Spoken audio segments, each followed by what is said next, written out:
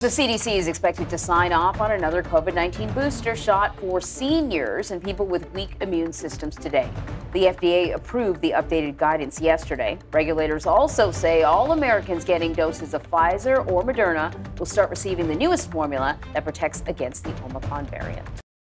Here for further analysis is Dr. Mati Hlatshwayo Davis. She's the Director of Health for the City of St. Louis, Missouri. Uh, Dr. Hlatshwayo, thanks so much for joining us. You are the Director of Health for the city of St. Louis, Missouri. Welcome.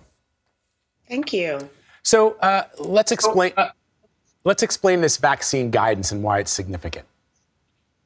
Well, it's significant because as we're transitioning from a pan, from an pandemic to an endemic state, it's still important for us to understand what cadence we should be getting boosters and who they're more important for. The FDA is making it very clear here that COVID is not gone, it will always be with us. And so, trying to really help us prioritize how and when we should be getting boosters. This is fantastic news coming out for um, especially the most. Uh, risk prone amongst us, those being the elderly and immunocompromised. Also, this this booster will help to protect against a wide variety of, of the most significant variants, um, which should which will add increased immunity. So not only is COVID still with us, but we have a new subvariant. I don't know if I'm going to pronounce this properly, but I think it's called the Arcturus. What do we know about this? So, you know, to me, I, I, wanted to come on today to really help as an infectious disease physician also make people comfortable with viruses are doing what viruses do. Mm. COVID always has subvariants, right? So this should not be a red alert shock every time this happens. This is an innate part of their biology. Um, they will always make um, variants. Unfortunately, we never reached herd immunity in the United States, right? So we're going to be living with COVID much like we do with influenza, where there's different variants um, that we have to protect against. So this new variant coming out of India is one that we are watching, but not yet designated as a variant of concern, meaning we do not have it causing predominant disease as of yet, but the CDC and the federal government doing the right thing and letting us know we're keeping our eyes on this one. So there are uh, reports of this, uh, uh, these new symptoms with this subvariant that hasn't been seen before, um, including conjunctivitis. Uh, how does conjunctivitis fit into this new subvariant?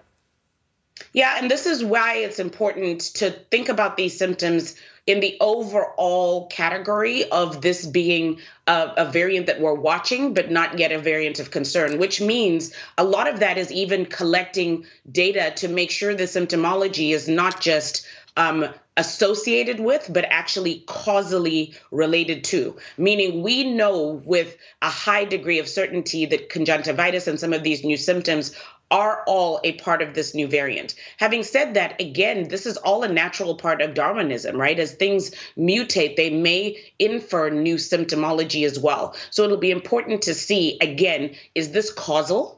Or is it just associated in a few cases, um, this conjunctivitis? And more importantly, it will take time to see um, what that looks like in the long term and to what extent. Conjunctivitis can come across a very wide spectrum, very mild symptoms, all the way to something that can be very concerning. So, this is something that we'll keep an eye on. Um, so, you're, you're going to be like, You're trying to make sure that we're all very level headed about this. And I have yet another question about this subvariant. Um, so be patient with us. Uh, the World Health Organization. That's what we should be doing, right? Okay. This is exactly the kind of conversation that's warranted. Okay, so good. you're doing fantastic. okay, good. Because I didn't want to be making a big deal out of something that's, you know, no, maybe not that questions. big of a deal. People are going to have um, questions. That's right. So the World, the World Health Organization has designated this new subvariant as a variant under monitoring. I think I think that's what you mentioned. Um, what's the difference between this designation and others, such as variants of concern? That's a really great question. So a variant under monitoring means they've had enough clusters of cases um, of concern, either around how fast it gets spread or as well in this case around some new symptomology, that they're watching it, right? They're monitoring. They they're putting our best minds and our folks around epidemiology, around public health, around medicine to really see um, to what degree this may become of concern. A variant of concern, however, is one that has shown itself to cause predominant disease um, under one of a few categories, either transmission or it may not spread as fast, but it causes severe disease. Um, so we'll be looking to see if it does progress to that extent. But again, right now, they are monitoring. So uh, let's talk about this. Earlier uh, this month, President Biden signed a bill that ended the COVID national emergency a month earlier than initially planned. Uh, did you agree with that decision?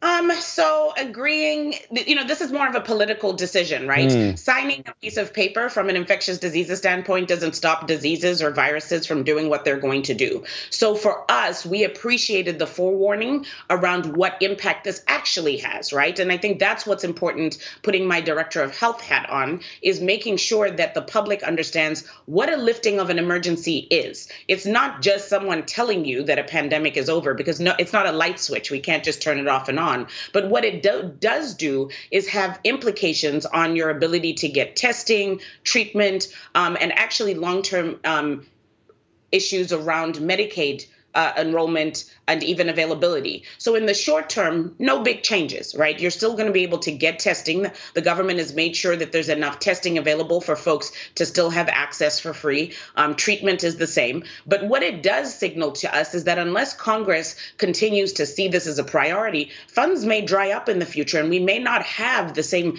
freedoms and accessibility that we've always enjoyed throughout this pandemic for testing and treatment. In the short term, it does have some nuance around um, insurance, um, specifically Medicaid, that public health departments are working really hard to educate the public about right now. All right, Dr. Mattie Hlatshwayo Davis, thank you so much. Thank you for having me.